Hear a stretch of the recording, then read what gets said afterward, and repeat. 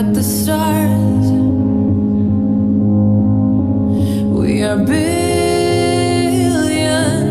of beautiful hearts. Wow.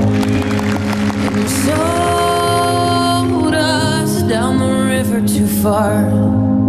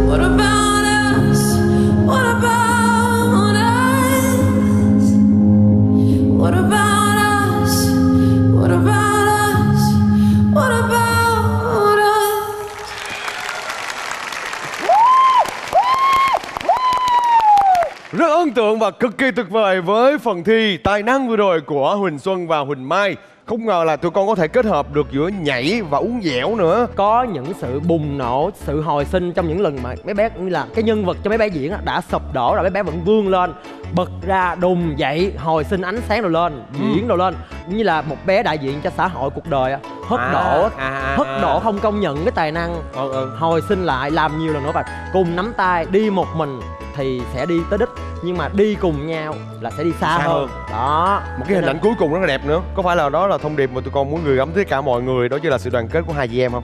Dạ Dễ thương quá đi mất. ý Được. nghĩa